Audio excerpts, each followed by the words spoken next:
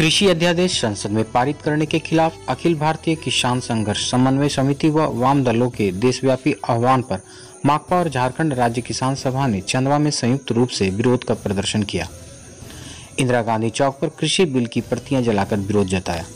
इस दौरान किसान विरोधी अध्यादेश वापस लो, खेती किसानी को कोऑपरेट के हवाले करना बंद करो, किसान विरोधी मोदी सरकार होश में आओ, आदि नारे पार्टी कार्यकर्ता लगाते रहे।